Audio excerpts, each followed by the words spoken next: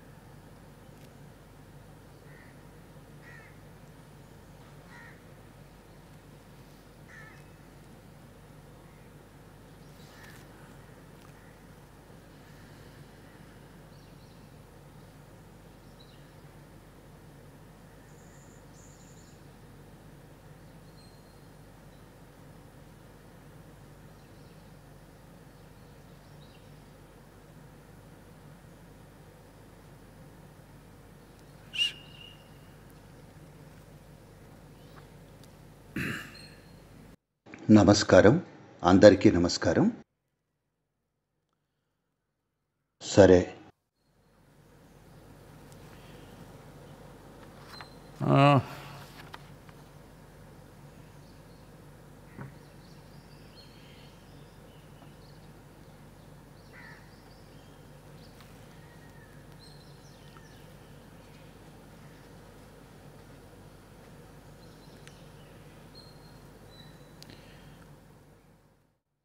Virus వల్ల కలుగుతున్న మరణాలు బాగా పెరిగిపోతున్నాయి. ముఖ్యంగా కొన్ని దేశాల్లో. అమెరికా యాభై వేల సంఖ్యను దాటింది. ఇటలీ పాతిక వేలు దాటింది. స్పెయిన్ ఇంకా ఫ్రాన్స్లో ఇరవై వేలు దాటింది. యూకే దాదాపుగా ఇరవై వేలు చేరుకుంది. ప్రపంచవ్యాప్తంగా దాదాపు రెండు లక్షల మరణాలు సంభవించాయి. ఇంకా ముప్పై లక్షలకు పైగా కేసులున్నాయి. భారతదేశంలో ఇరవై మూడు వేల కేసులు ఏడు వందల పద్దెనిమిది మరణాలు. గత ఇరవై నాలుగు గంటల్లో ముప్పై ఏడు మరణాలు సంభవించాయి. కానీ అదృష్టవశాత్తు భారతదేశంలో దీన్ని పరిమితం చేశాం. కానీ ముంబై వంటి కొన్ని నగరాలు కొంత అదుపు తప్పాయి. కానీ దేశంలో చాలా వరకు దాని నుండి పూర్తిగా విముక్తి పొందింది. ఇది మన దేశం తీసుకున్న కఠినమైన లాక్డౌన్ నిర్ణయం వల్లే సాధ్యమైంది. మనకు అది ఫలితాలను ఇస్తోంది. అదే సమయంలో ఇది మరో విధమైన నష్టాన్ని కలిగించవచ్చు మరొక విధమైన నష్టం జరుగుతోంది. దాన్ని గుర్తించడం కష్టం. దాదాపుగా రెండు మూడు వారాల క్రితం నేను ఇది చెప్పాను. దీని గురించి మనం జాగ్రత్త తీసుకోవాలి అని. ఇప్పుడు అందరూ దాని గురించి చెప్తున్నారు. అదేమిటంటే ఇంకా ఎన్నో రుగ్మతలతో బాధపడుతున్న ప్రజలున్నారు. కొంతమందికి డయాలసిస్ అవసరం. కొంతమందికి కీమో చికిత్స అవసరం. వీరి చికిత్స మనం వాయిదా వేయలేం. క్యాన్సర్కు గుండె జబ్బులకు ఇంకా కొన్ని సర్జరీలకు జీర్ణకోశానికి సంబంధించిన సమస్యలకు దురదృష్టవశాత్తు ఇటువంటి సమస్యలున్న ప్రజలకు వారికి అవసరమైన శ్రద్ధ ప్రస్తుతానికి దొరకడం లేదు. ప్రస్తుతం దృష్టి అంతా వైరస్ మీదే ఉంది. అందుకని దీనివల్ల ఇతర నష్టాలు జరుగుతున్నాయి. మేమిక్కడ యోగా సెంటర్లో ఈరోజు దానికి మూల్యం చెల్లించాం. ఇక్కడ మాతో పాటు జీవించిన అద్భుతమైన జీవం భైరవ. అద్భుతమైన ఎద్దిది. మాతో పాటు ఎన్నో సంవత్సరాలుంది. ఈ రోజున చనిపోయింది.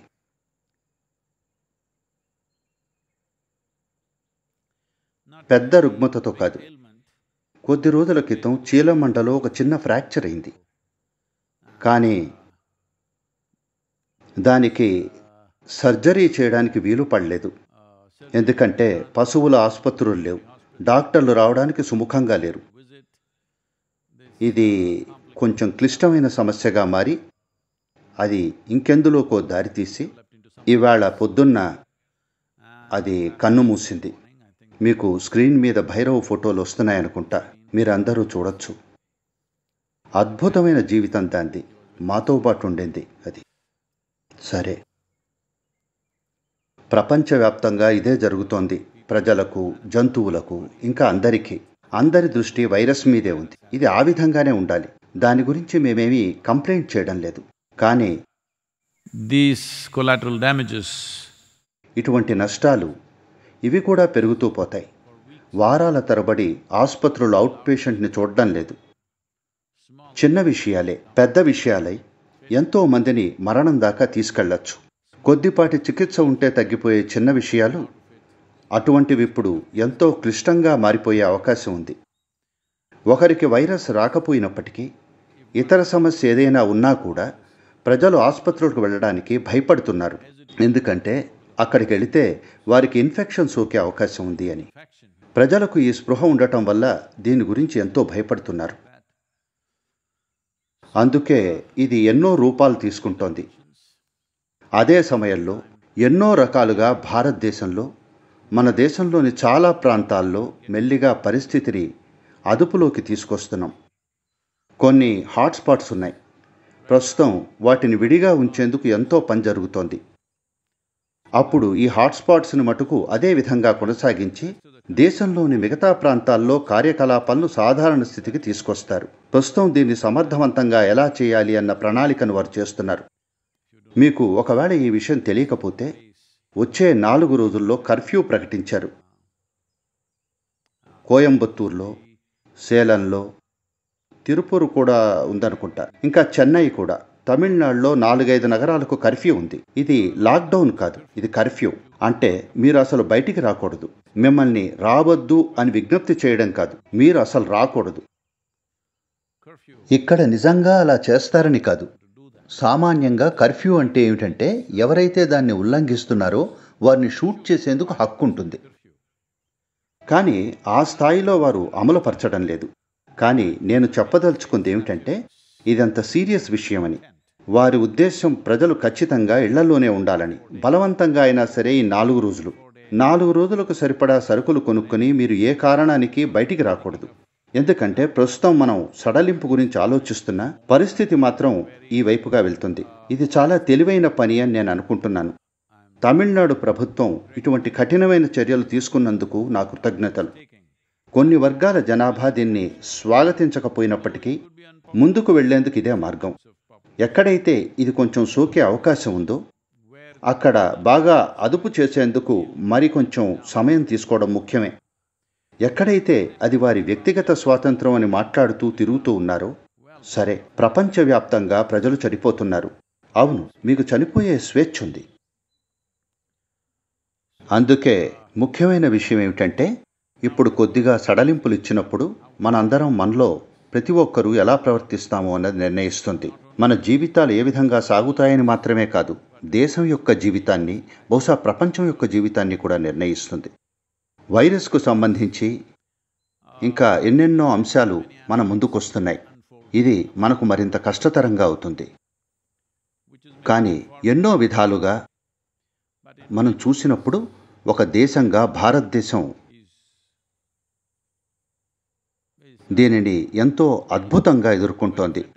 కొన్ని లొసుగులు ఉన్నాయి వాటిని కట్టుదిట్టం చేయాలని ప్రయత్నం చేస్తున్నారు. కానీ చాలా వరకు చూస్తే మనం దీన్ని బాగా ఎదుర్కొన్నాం. మనం దీనిని కొనసాగించగలిగితే వచ్చే రెండు నెలల పాటు ఈ స్థాయిలో నిర్వహించగలిగితే అప్పుడు మనం పెద్ద సమస్యను దాటినట్లే. ఇంకా మనకు చలికాలాలు ఇక్కడ అంత తీవ్రంగా ఉండవు. ఎందుకంటే ఎక్కడైతే తీవ్రంగా చలికాలం ఉంటుందో అక్కడ ఇది మరొకసారి వస్తుంది అని అంచనాలు వేస్తున్నారు. అమెరికాలో ఇది రెండోసారి రావడం ఖచ్చితం అంటున్నారు. బహుశా చైనాలో కూడా రావచ్చు. ప్రస్తుతం ఇదే పెద్ద భయంగా మారింది. ఇది రెండోసారి వస్తుందేమోనని. రెండోసారి వచ్చేది మొదటిసారి వచ్చిన దానికంటే ఉధృతంగా ఉంటుంది. కానీ భారతదేశంలో ఇది రెండోసారి రాకపోవచ్చు అనుకుంటున్నారు. అందుకే ఆ విధంగా చూస్తే మనకు అనుకూలంగా కనిపిస్తోంది. కానీ ప్రతివారికి భయం ఉంటుంది. ఒక్క దేశం సరిగ్గా లేకపోయినా కానీ ప్రపంచం అంతా భయంలో జీవించాల్సి ఉంటుంది. ఎందుకంటే కొంతమంది ప్రజలు ఇక్కడకు అక్కడకు ప్రయాణాలు చేస్తూ ఉంటారు. ఇది ఒక కొత్త యుగం లాంటిది. మనందరం ఉన్నత స్థాయిలో పనిచేస్తూ మరింతగా వినూత్నంగా ఉంటూ మనలో ఉత్తమమైనది ఏదో బయటికి తీస్తూ ఈ పరిస్థితిని ఎలా దాటొచ్చో చూడాలి. ఈ పరిస్థితి ఒక చిన్న మడుగు లాంటిది కాదు. ఇది ఒక పెద్ద కొలం లాంటిది. మనం దీన్ని దాటాలి. We have to cross.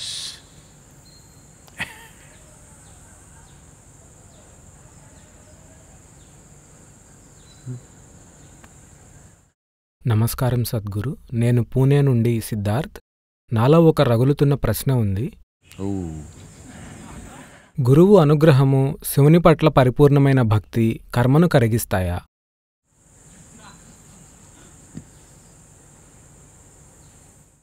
గత కొద్ది రోజుల క్రితమే మనం ఈ ప్రశ్నను చూసామనుకుంటా.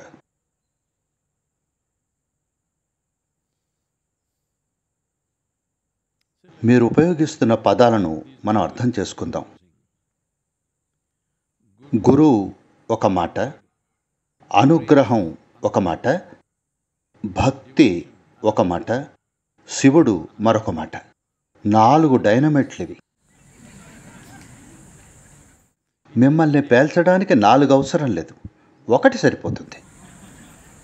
మీకు భక్తి ఉన్నా లేదా శివుడి వల్ల మీరు లోతుగా స్పృశించబడ్డా లేదా గురువు లేదా అనుగ్రహం ఏదో ఒకటి సరిపోతుంది. నాలుగు అవసరం లేదు. మీరు పిల్లి కాదు కదా. మీరు ఒక పిల్లి అయితే తొమ్మిది బుల్లెట్లతో షూట్ చేయాలి. మీకు ఒక్కటి ఒకటి సరిపోతుంది. సమస్య ఏమిటంటే మీరు బహుశా ఒకదాని నుండి మరో దానికి మారిపోతున్నట్టున్నారు. అదేదో పియానో వాయించడం లాగా అనుకుంటున్నారు. పీం పీం పాం పాం చేస్తున్నారు ప్రతిరోజు. ఒక్కో రోజు ఒక్కోటి చేస్తే ఇది అలా పనిచేయదు. వీటిల్లో ఏదో ఒకటి సరిపోతుంది. ఇది జరుగుతుందా అది జరుగుతుందా నేను ఇది చేస్తే అది జరుగుతుందా లేక ఇది జరుగుతుందా అంటే ఇది ఒక విధమైన ఆలోచన సరళి వల్ల వస్తుంది. మీరు నన్ను అడుగుతున్నది ఏమిటంటే నేను శివుడి పట్ల భక్తిగా ఉంటే నాకు విముక్తి లభిస్తుందా అని. ఒకవేళ నేను అవును అంటే ఇవాళ మీరు ఇంటికి వెళ్ళి భక్తిగా ఉండడం మొదలు పెడతారు అలా చేయడం సాధ్యం అనుకుంటున్నారా మీరు?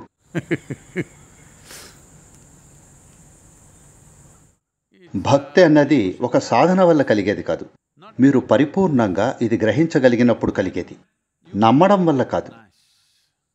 Not by believing. మీ అనుభూతి వల్ల మీరు దీన్ని కనుక తెలుసుకోగలిగితే మీకంటే మరేదో ఉన్నతమైంది ఉందని మీకంటే మరేదో చాలా పెద్దది ఉందని తెలుసుకుంటే అప్పుడు నిదానంగా మీరే భక్తుడిగా మారతారు. ఇది చాలా సహజంగా జరుగుతుంది. మనం భక్తిని పెంపొందించుకోలేం. పెంపొందించుకున్న భక్తి అంటే మీరు అది నటిస్తున్నట్లు. నేను ప్రజలకు ఎప్పుడూ గుర్తు చేస్తూ ఉంటాను. ఇక్కడ చాలామందిలో నేను అనేది యోగా సెంటర్లో ఉన్న చాలామందిలో కొంత భక్తి ఉంటుంది వారు తీసుకునే ప్రతి అడుగులోనూ. కానీ కొందరుంటారు. ఈ రోజుల్లో నేను నిశ్శబ్దంగా ఒక ఎలక్ట్రిక్ మిషన్ మీద వస్తున్నాను. లేకపోతే నేను సాధారణంగా డీజిల్ కార్ డ్రైవ్ చేస్తాను. అది అంత నిశ్శబ్దంగా కదలదు. నేను వారి వెనకాలే నడిపిస్తున్నా సరే వారు ఈ విధంగా వెళ్తుంటారు. ఏదో కారు వస్తోందని వింటారు. కానీ వాళ్ళు అలా వెళ్తుంటారు. ఎవరో చూసి సద్గురు సద్గురు అంటారు. వెంటనే ఇలా పక్కకు గెంతి ఇలా ఇలా ఇలా ఇలా చేస్తారు. ఇది మీ జీవితంలో పనిచేయదు. ఇది తెలుసుకోండి. అందుకే నేను ఇలా చెప్పాను. మీరు సద్గురు లేదా శివుడు లేదా ఎవరి పట్లో భక్తితో ఉన్నా సరే అది పర్వాలేదు. మీరు దాన్ని అన్నింటిలో చూడగలగాలి. ఇక్కడ ఉన్న ప్రతి వారిని మీరు సద్గురువుగా చూడగలగాలి. అది స్త్రీ పురుషుడు పిల్లలు ఆవులు ఆశ్రమంలో గాడిదల్లేవు ఉంటే వాటిని కూడా కలిపేవండి. ప్రతిదాన్ని మీరు దాన్ని చూసినప్పుడు ఒకే విధమైన భక్తి ఉంటే అప్పుడు మీరు ఒక భక్తుడు. ఇది పనిచేస్తుందా? అంటే ఖచ్చితంగా. ఇప్పుడు మీరు గాల్లో నాలుగు ఎంపికలు విసిరారు. దేనిని పేల్చమంటారు సద్గురు అని అడుగుతున్నారు. ఓసారి ఒక అతను ఒక కంటి డాక్టర్ దగ్గరికి వెళ్ళాడు. అతను చెకప్ చేసిన తర్వాత డాక్టర్ అతనికి ఒక ప్రిస్క్రిప్షన్ రాసిచ్చాడు. అప్పుడు అతను డాక్టర్ ఒకసారి నేను కళ్ళద్దాలు పెట్టుకున్న తర్వాత నేను చదవగలుగుతానా? అన్నాడు. ఆ డాక్టర్ అందుకు తప్పకుండా ఖచ్చితంగా మీరు చదవగలుగుతారు. మీరు చదవగలుగుతారు. అందుకు అతను ఓ అద్భుతం నా జీవితంలో నేను ఎప్పుడూ చదవలేదు అన్నాడు.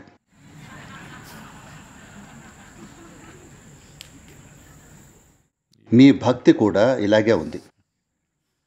ఇప్పుడు నేను మీకు గురు అనుగ్రహం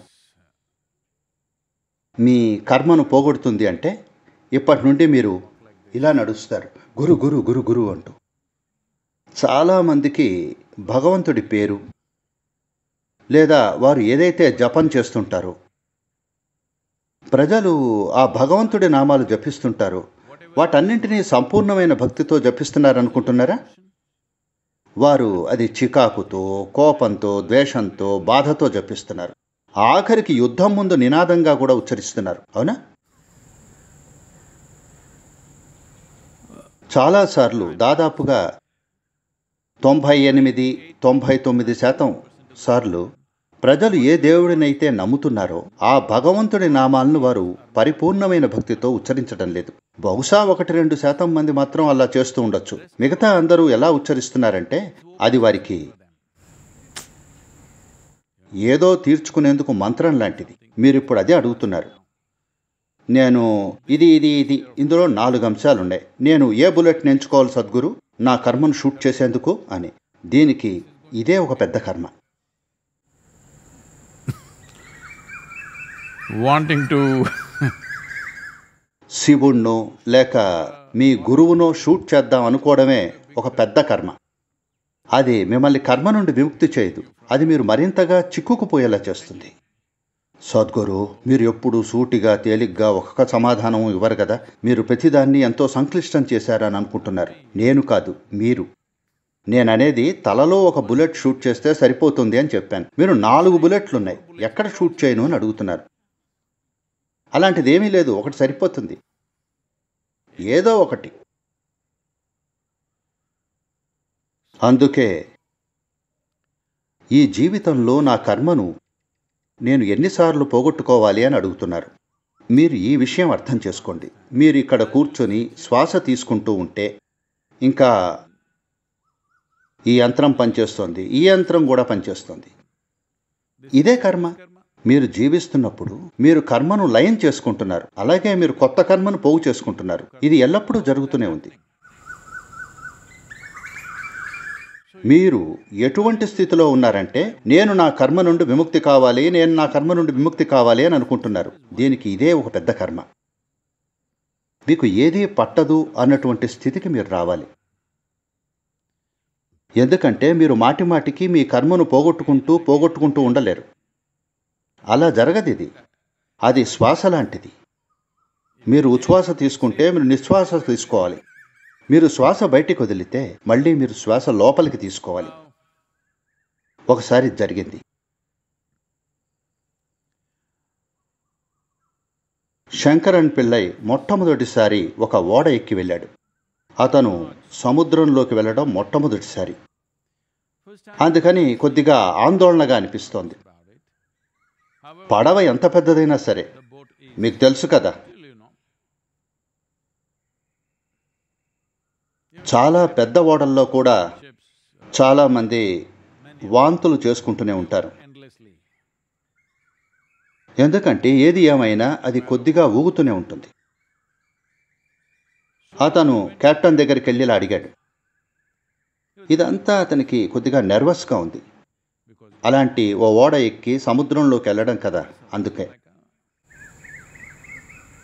కెప్టెన్ దగ్గరికి వెళ్ళి అదే ఓడ క్యాప్టెన్ని ఇలా అడిగాడు.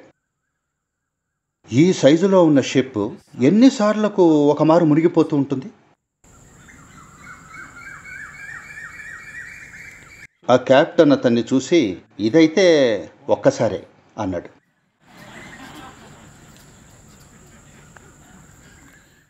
మీరు మునిగిపోవలసింది ఒక్కసారి మాత్రమే.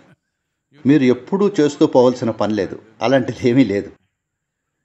కర్మను తయారు చేసే యంత్రం నుండి మీరు కొద్దిగా దూరంగా ఉంటే అది మీ దేహం మీ ఆలోచనలు అంతే. అది అయిపోయింది. అది ఏదో విసురుతూ ఉంటుంది.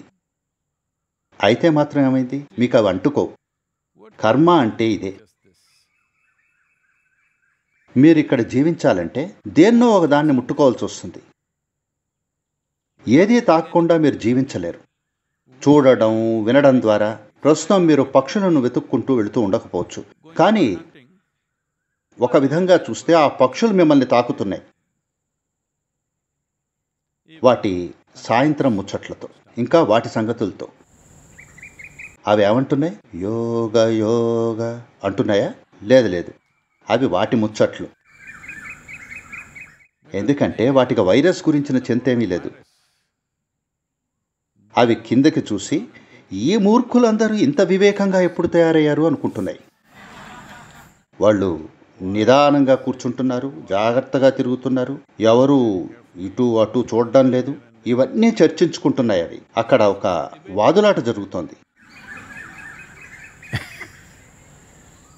ఈ మూర్ఖులందరూ ఇంత వివేకంగా ఎలా తయారయ్యారు అని. ఈ విధంగా ఉంటారా? లేకపోతే మళ్ళీ వాళ్ళ మూర్ఖత్వంలో మునిగిపోతారా? ఈ వాదనే జరుగుతోంది. ఈ పక్షులు మిమ్మల్ని తాకుతున్నాయి. మీరు ఏం చూసినా సరే మీరు ఏది తాకినా సరే ఎలాంటి జీవితమైనా ఒక రోజులో ఓ లక్ష విషయాలను ముట్టుకోకుండా జరగదు. ఒకవేళ మీకు ఈ కోటింగ్ వేశామనుకోండి. నేను బ్రాండ్ పేరు చెప్పకుండా చెప్పాలని చూస్తున్నా. అనబాండ్ అది కూడా ఓ బ్రాండ్. దాని గురించి ఎందుకు చెప్తున్నాను అంటే నేను ఎందుకో దాన్ని వాడాను. అది ఇంకా నాకు అతుక్కునే ఉంది. నా చేతుల నుండి పోవడం లేదు. బాండ్ ఇది ఒక రకమైన జిగురు ద్రావకం. నేను కొద్దిగా తీసుకోవాలని చూశాను. అది నా చేయి మీద అంతా పడిపోయింది. అదేమో పోవడం లేదు. అది చర్మం కూడా వచ్చేస్తోందేమో అనిపించింది. ఇలాంటి గొప్ప జిగురు ద్రావకాలతో మీకు కోటింగ్ వేసామనుకోండి తల నుండి పాదాల వరకు. Super glues from head to toe ఇరవై నాలుగు గంటల సమయంలో మీరు ఏమవుతారో చూడండి. Hello? ఒక పెద్ద చెత్త. ఎందుకంటే అన్నీ మీకు అతుక్కుంటూ ఉంటాయి. కర్మ అంటే ఇదే. ఈ ప్రపంచంలో ప్రతిదీ మీరు దేన్ని ముట్టుకున్నా సరే అది మీకు అతుక్కుంటుంది. మీకు ప్రతిదీ ఇలా అతుక్కున్నప్పుడు మొట్టమొదట మీకు ఏదో అతుక్కున్నప్పుడు మీరు ఇది ధనం ఇది బంధం ఇది వివాహం. మీకు ఏదో ఒకటి అతుక్కున్నప్పుడల్లా ఇలా అనుకున్నారు.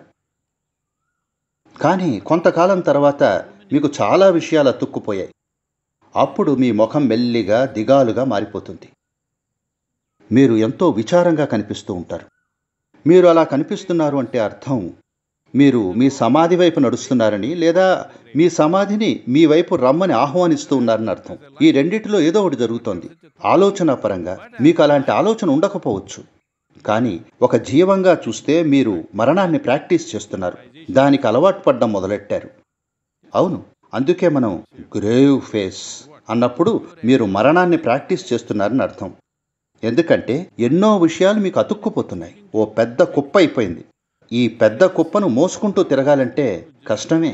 మీరు ఇది ఒకసారి ఊహించుకోండి. మీరు వేటితో అయితే గుర్తింపు ఏర్పరచుకున్నారో అవన్నీ మీకు అతుక్కుపోయాయి. మీరు పని చేయడానికి వెళ్ళారు. మీ పని అంటే మీకు చాలా గర్వం. ఇంకా మీరు వెళ్ళి అక్కడ కూర్చోగానే ఆ కుర్చీ మీకు అతుక్కుపోయింది. టేబుల్ ముట్టుకోగానే టేబుల్ అతుక్కుపోయింది. కంప్యూటర్ ముట్టుకోగానే కంప్యూటర్ అతుక్కుపోయింది. ఊరికే ఒకసారి ఒక రోజులో మీకు ఏం జరుగుతుందో అదంతా ఇలా ఊహించి చూడండి. పర్వతంలా తయారవడానికి ఎంతో కాలం పట్టదు. ప్రస్తుతం జరుగుతున్నది అదే. అందుకని మనం ఆ పర్వతాన్ని బద్దలు కొడుతూ కర్మను తీసేస్తూ తీసేస్తూ ఉందామా అంటే లేదు. భక్తి అనుగ్రహం గురువు శివుడు ఇవన్నీ కూడా కరిగించేవి.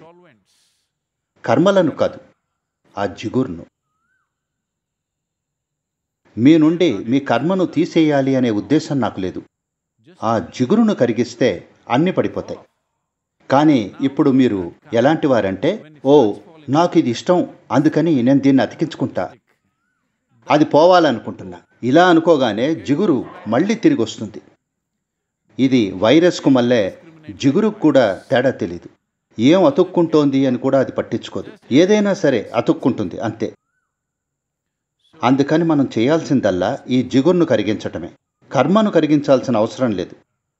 మీరు జిగురును కరిగిస్తే కర్మ ఎక్కడ పడాలో అక్కడ పడుతుంది. ఈసారి మళ్ళీ మీరు ఆఫీసులోకి వెళ్ళి కూర్చున్నప్పుడు మీ కుర్చీ దాని స్థానంలో అది ఉంటుంది. మీరు ఇలా ఊహించుకోండి. మీరు ఒక కుర్చీ కంప్యూటర్లు అన్నీ మీకు అతుక్కుని వేళ్ళాడుతూ ఉన్నట్లు ఇలా ఊహించుకోండి. ప్రస్తుతం జరుగుతున్నది ఇదే. ప్రజలు వారి ఉద్యోగాన్ని వారి తల మీద మోస్తున్నారు. వారి కుటుంబాన్ని తల మీద మోస్తున్నారు. వారి ప్రపంచాన్ని తల మీద మోస్తున్నారు. వారి సంపదని తల మీద మోస్తున్నారు. అది అసహ్యంగా ఉంటుంది. కానీ ఏం చేద్దాం? సమాజంలో కొంతమంది మీరు మీ తల మీద చాలా భారాన్ని మోస్తూ ఉంటే ఓ ఈయన ఎంత విజయం సాధించాడు? ఈయన తల మీద ఒక పర్వతం ఉంది అంటారు.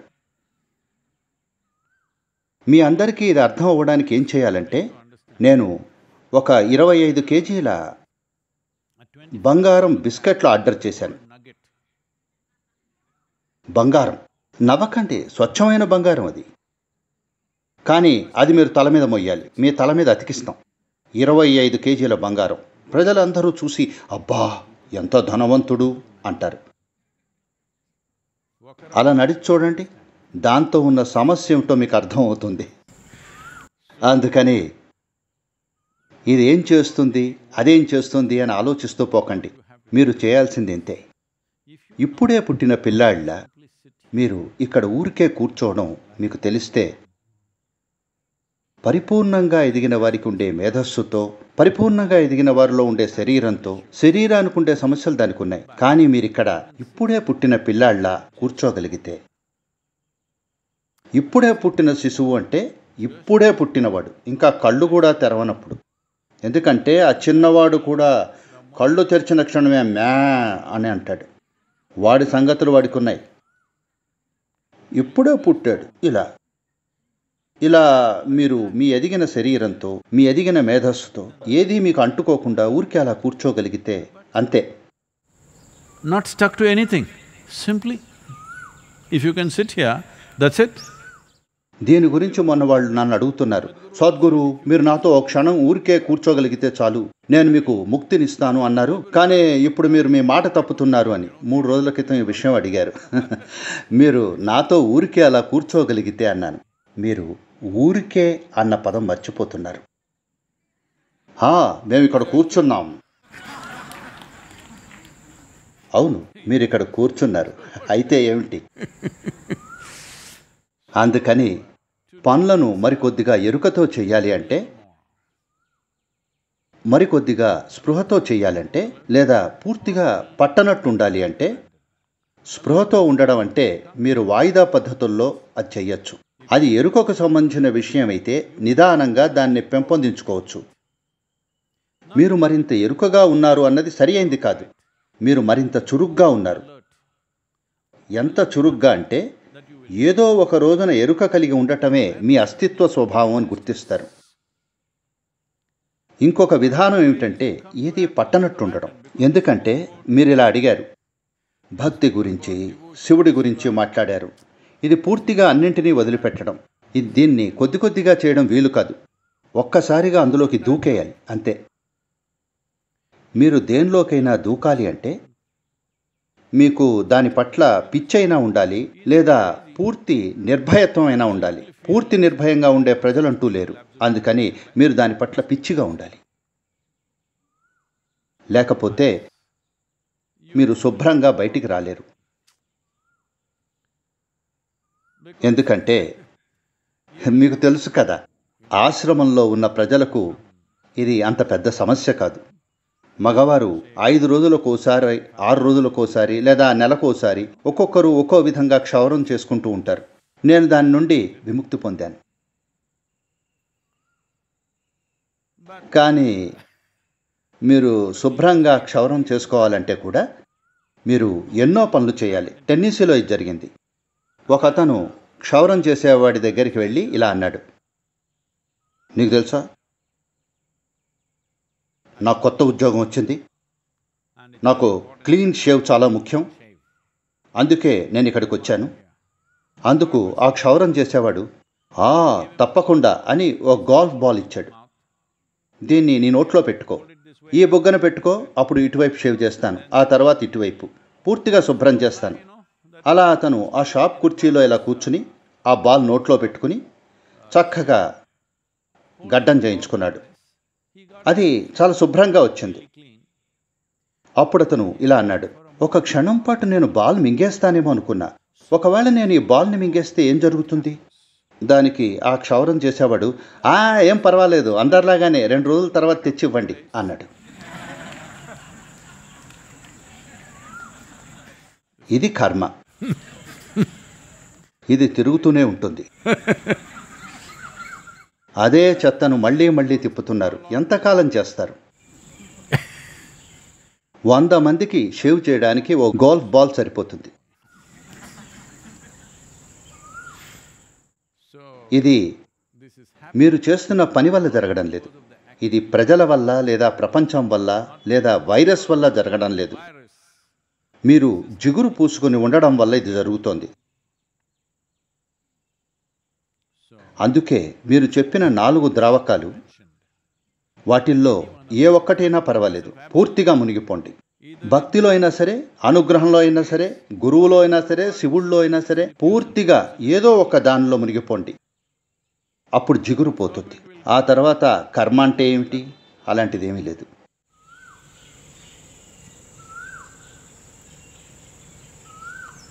oh. Some more time, I thought. తర్వాతి ప్రశ్న ఎక్తా అగర్వాల్ అడుగుతున్నారు. దయచేసి దేశంలో సోమరి భర్తలు ఉన్న మహిళలకు మొండి తల్లిదండ్రులతో విసుగు చెందిన పిల్లలతో వేగుతున్న మహిళలకు మార్గం చూపండి. నాకు ఇంటి పనిభారం పెరిగినప్పుడు ఇంకా మా వృత్తిపరమైన గుర్తింపు మరుగుపడుతున్నప్పుడు ఈ సంత మధ్యలో ఉంటూ కరుణాభావంతో ఎలా మెలగాలి? మీరు చాలా అదృష్టవంతురాలు.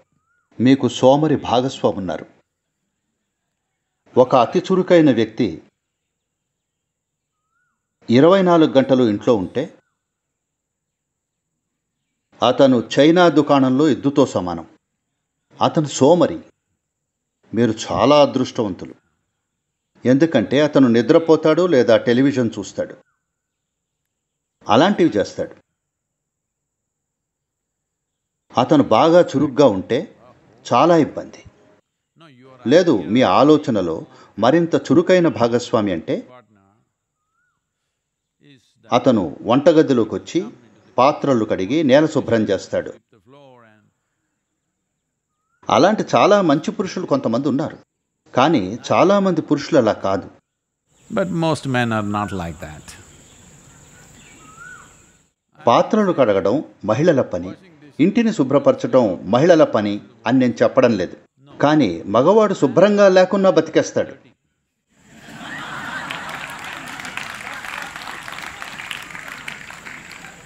ఒక మహిళ వస్తువులు శుభ్రంగా ఉండాలని కోరుకుంటుంది కాబట్టి ఆమె దాన్ని శుభ్రం చేయాలి. లేకపోతే మీరు బ్యాచిలర్స్ రూమ్లోకి వెళ్ళి చూడండి. అంతా చిందరవందరగా ఉంటుంది.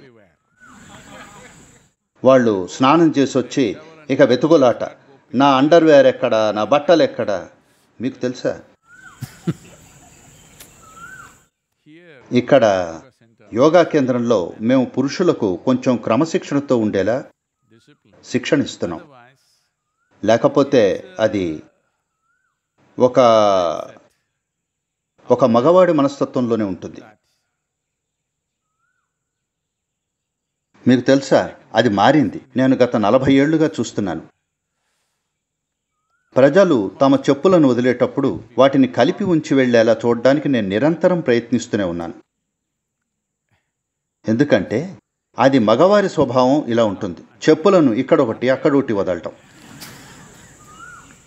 ఇప్పుడు మేము కనీసం ఇక్కడి పురుషులందరిలో స్త్రీతత్వాన్ని మేల్కొనేలా చేశాం. ఇంకా మా అన్ని కార్యక్రమాల్లో వారందరూ తమ చెప్పులను సరిగ్గా వదులుతారు. సాధారణంగా వాళ్ళు విసిరేస్తారు. కానీ ఒక స్త్రీ దాన్ని భరించలేదు కనుక ఆమె వచ్చి వాటిని జత కలిపి పెడుతుంది. కనుక ఎందుకంటే ఇలా జరిగింది. ఒకానొకప్పుడు శంకరన్ పిళ్ళై ఇప్పుడు ఎప్పుడో కాదు ఇప్పుడు వైరస్ యుగంలో. ఎందుకంటే ఇది ఒక యుగంగా గుర్తుండిపోతుంది. ఈ వైరస్ కాలంలో శంకరన్ పిళ్ళై వెళ్ళి తన కారును ఒక హాస్పిటల్ అత్యవసర లేన్ వద్ద పార్క్ చేశాడు. హాస్పిటల్. Emergency lane. అప్పుడు పోలీసులు అతని దగ్గరకు వచ్చి ఇదేమిటి? అన్నారు. అతను కానీ అక్కడ మార్క్ చేసిందిగా? ఫైన్ ఫర్ పార్కింగ్ అని? అన్నాడు.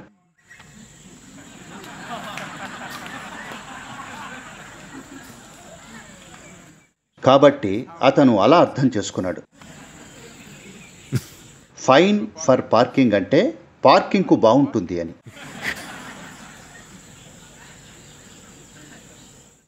కాబట్టి ఏమిటి? పిల్లల లక్షణాలు ఏమిటి? మొండి తల్లిదండ్రులు ఇంకా విసుగు చెందిన పిల్లలు. okay.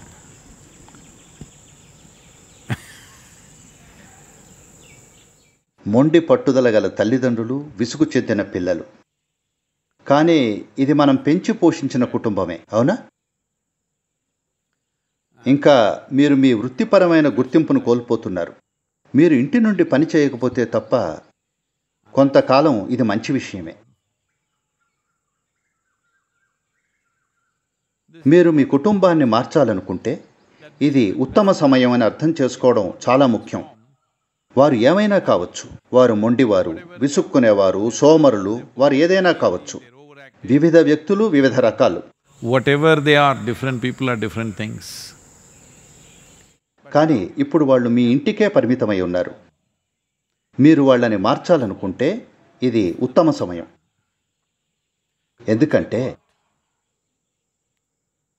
ఒక్కసారి వాళ్ళు బయటికి వెళ్తే ఇక చిక్కరు. మీరు వాళ్ళని ఏ విధంగా మార్చాలనుకున్నా మీరు ప్రయత్నించేందుకు వైరస్ శకం కంటే మంచి సమయం మరొకటి లేదు. ఎందుకంటే వాళ్ళందరూ ఇంట్లో ఇరుక్కుపోయారు. వాళ్ళు చేయాల్సిందే. మీరు పది పనులు చెబితే కనీసం రెండు పనులైనా చేయాలి. వారు దాన్ని తప్పించలేరు. వాళ్ళెంత మొండివాళ్ళు సోమరులైనా లేదా ఎంత విసుగు చెందినా మీరు పది విషయాలు చెబితే కనీసం రెండు పనులు వారు చేయాలి. లేకపోతే నేను అర్థం చేసుకున్న దాన్ని బట్టి పోషణ మీ చేతుల్లో ఉంటుంది. మీరు వివరించే విధానం బట్టి స్పష్టంగా వాళ్ళల్లో ఎవరు వంట చేయట్లేదు. మీరే చేస్తున్నారు. కాబట్టి పోషణ మీ చేతుల్లో ఉంది. కాబట్టి చాలా సులభంగా మీరు చేయొచ్చు. మీరు చేయాల్సిందల్లా డిన్నర్ సమయంలో ఈరోజు ఇప్పటికే మించిపోయింది. మీరు వంట ముగించారు. రేపు అల్పాహార సమయంలో ప్రతి ఒక్కరిని అడగండి. మీకు తెలుసు ఏ సమయమో.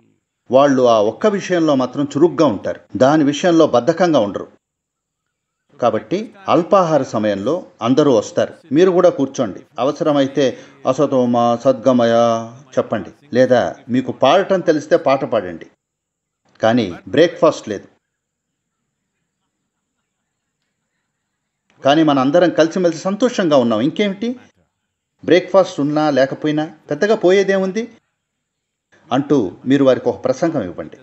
ఏది ఎలా ఉన్నా మన అందరం కలిసి ఉన్నాం. కుటుంబం అంటే కలిసిమెలిసి ఉండటం పాత్రలు కడగడం ఇంటిని శుభ్రం చేయడం గురించి కాదు. దానికి కుటుంబంతో సంబంధం లేదు. కుటుంబం అంటే కలిసిమెలిసి ఉంటూ ఒకరినొకరు ముద్దులు పెట్టుకోవడం. Then they will all understand. అప్పుడు వాళ్ళందరికీ అర్థమవుతుంది. కుటుంబం అంటే మీ పాత్రలు మీరు కడగాలి. మీరు నేల శుభ్రం చేయాలి. మీరు బూజు దులపాలి చెత్తను బయటపడేయాలి. కుటుంబ అమెరికా అంటే ఇదే. వీటన్నిటితో. మీ చేతిలో చెత్త సంచితో ఉండి మీరు ముద్దు పెట్టుకోగలిగితే మీరు బాగా చేస్తున్నారని అర్థం. కానీ మీరు అది చేయలేకపోతే ముందు అది చేయండి. ఎందుకంటే అది కుటుంబం యొక్క మొదటి అంశం. అది ఒక వ్యవస్థ.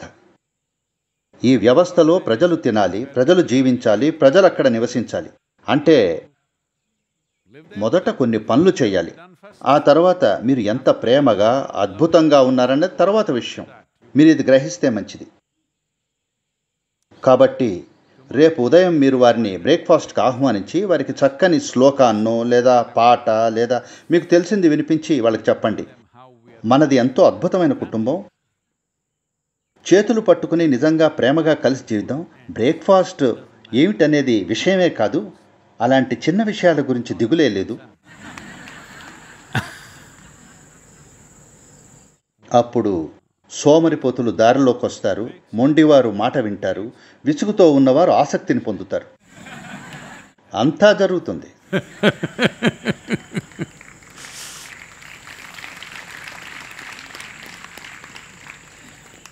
కుటుంబం అంటే పెద్ద ప్రేమ వ్యవహారం అని అనుకోకండి. కాదు దానికి చాలా నిర్వహణ ఉంటుంది. మీరు ప్రేమగా నిర్వహించగలరు. అది వేరే విషయం. కానీ చాలా నిర్వహణ ఉంటుంది లేకపోతే పరిస్థితుల యొక్క సరియైన నిర్వహణ లేకుండా ఎటువంటి సంబంధాలు నిలబడవు ఇది చాలా ముఖ్యం योग योग योगेश्वराय भूत भूत भूतेश्वराय ष्वराय काल काल कालकालकालेश्वराय। शिव शिव सर्वेश्वराय। शंभ शंभ महा